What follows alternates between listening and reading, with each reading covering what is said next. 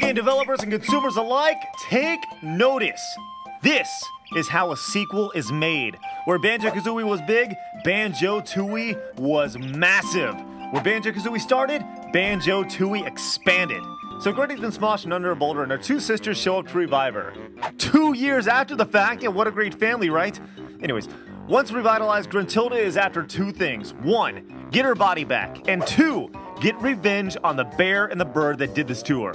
Just to show you how much she means business, she kills bottles. Yes, that sweet mole that taught you so much last time is dead. Well, actually, he kind of comes back to life at the end, but still, it's serious. Obviously unhappy with that, Jamjars, Bottles brother, steps in to take over duties of teaching moves throughout the game. Now, think about this. How many adventure games come to mind where you have to recollect the same weapon in every sequel? Yeah, pretty much everyone. But what's mind-blowing is that Tooie lets you keep all the moves from the first game from the get-go, and you still get tons of moves on top of that. That is pretty awesome. Now, if you thought Banjo-Kazooie had some questionable things in it that probably shouldn't have made it an E-rated game, then Banjo-Tooie is just straight up porno. Some people think that Jolly's Bar and Jolly Roger Bay is a gay bar. Hmm. Oh, and take a look at what the buttons say on Grunty's Life Force machine. I mean, just look at this little rock formation. It's it's obviously, uh, whatever. It's porn. Well, that's a nice little addition, I guess.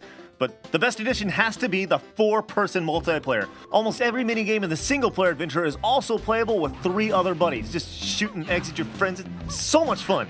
But to be really cheap, you want to play as Jinjo, that small, fast little bastard. Oh, so you want to know how to unlock Jinjo? Well, good, because that involves one of the greatest mysteries in video game history.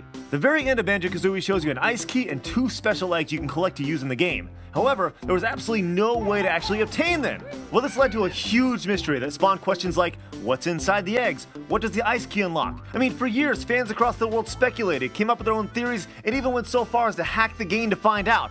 It was only a matter of time before some dudes discovered in-game cheats had actually legitimately opened the way to the key and both eggs, plus four previously unheard of eggs that were never even mentioned. Picking up any of these items lets you see them in a special stop and swap menu, and further hacking suggests that this feature was somehow connected to Donkey Kong 64.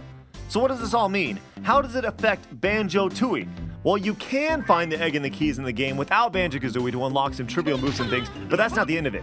Turns out Stop and Swap was actually going to involve you stopping Banjo-Kazooie and swapping out the cartridge of Banjo-Tooie while the N64 was still on. This would have transferred all those mystical items from one game to the next with an exploit using N64's RAM, but obviously Nintendo wasn't too big on people ripping cartridges out of their consoles like that, so Rare had no choice but to nix this super creative idea before anyone could actually see it fully realized.